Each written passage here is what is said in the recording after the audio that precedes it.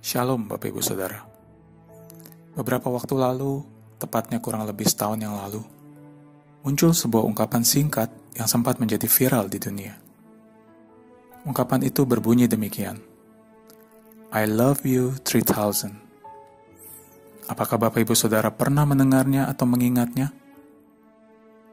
Ungkapan singkat ini muncul di dalam sebuah film yang berjudul Avengers Endgame, yang menjadi film terlaris sepanjang masa sampai dengan hari ini. Di dalam film itu, ungkapan ini diucapkan oleh seorang anak yang bernama Morgan Stark kepada ayahnya, Tony Stark.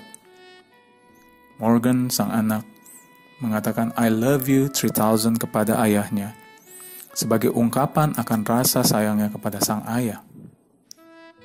Angka 3000 yang digunakan Morgan merupakan penggambaran akan betapa besar kasihnya kepada ayahnya.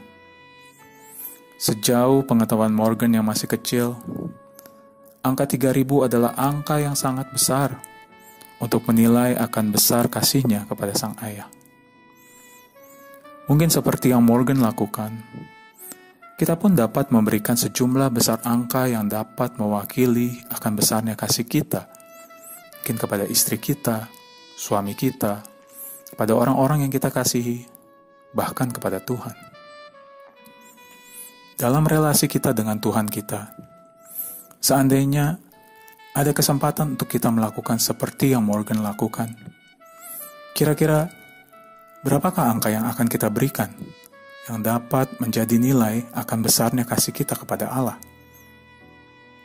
Mungkin di dalam pikiran kita saat ini langsung muncul sejumlah besar angka-angka yang dapat mewakili kasih kita kepada Allah. Dan juga sebaliknya, jika kita memiliki kesempatan untuk menilai kasih Allah kepada kita, dapatkah kita memberikan nilai yang dapat mewakili kasih Allah kepada kita? Mungkin kita pun dapat memberikan nilai itu. Namun sesungguhnya, berapapun nilai yang kita berikan, tidak akan pernah dapat mewakili kasihnya yang begitu besar kepada kita. Karena pikiran kita terbatas, pengetahuan kita terbatas, sedangkan kasih Allah kepada kita tidak terbatas. Seperti yang tertulis di dalam Efesus 3 ayat 18 sampai dengan 19a, bagian dari perenungan gemah hari ini, Paulus dalam suratnya kepada jemaat di Efesus mengatakan demikian. Aku berdoa supaya kamu bersama-sama dengan segala orang kudus dapat memahami betapa lebarnya dan panjangnya dan tingginya dan dalamnya kasih Kristus dan dapat mengenal kasih itu sekalipun ia melampaui segala pengetahuan. Manusia yang terbatas umumnya mengukur kasih Allah berdasarkan dari pengetahuan dan pengalaman mereka saja terutama mereka yang tidak mengenal firman Allah. Manusia menambahkan kasih Allah berdasarkan berkat-berkat yang diterimanya. Ketika keadaan berjalan dengan baik, atau ketika sedang tidak ada masalah, di situ manusia akan berkata, "Tuhan itu adalah Tuhan yang penuh kasih." Namun, ketika dalam keadaan susah, keadaan sulit, tidak menentu, manusia cenderung mengurangi kasih Allah seperti di saat-saat seperti ini, mungkin banyak orang yang mulai meragukan akan kasih Allah. Tetapi sesungguhnya, tidak ada seorang pun yang dapat mengukur akan kasih Allah bagi kita. Karena dikatakan bahwa kasih Allah itu melampaui segala pengetahuan, melampaui segala akal pikiran kita. Mengenai kasih Allah, A.W. Tozer Seorang teolog mengatakan demikian.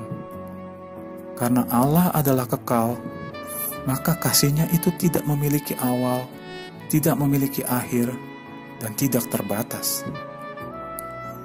Sebagai orang-orang yang telah diselamatkan, ukuran kita dalam menilai kasih Allah kepada kita tentunya tidak berdasarkan atas keadaan di sekitar kita.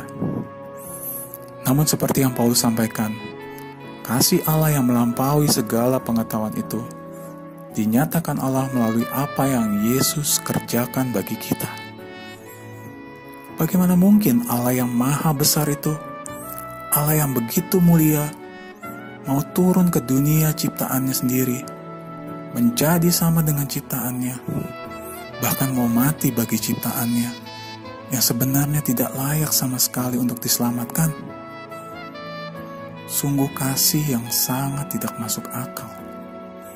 Sampai kapan pun tidak akan mungkin kita dapat mengukurnya. Kasih Allah yang melampaui segala pengetahuan ini seharusnya menjadi kebenaran yang senantiasa menguatkan dan mengingatkan kita di dalam menjalani kehidupan ini. Di dalam menyongsong new normal yang sudah ada di depan mata. Bagaimana perasaan kita saat ini? Siapkah kita menghadapinya?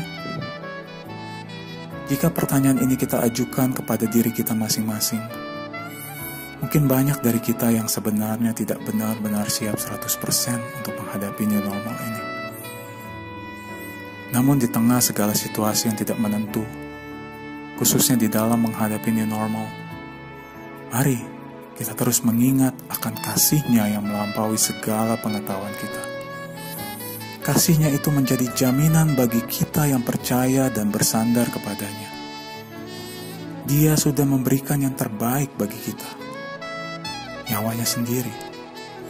Dia juga pasti akan senantiasa menyertai kita. Amin. Tuhan beserta kita semua.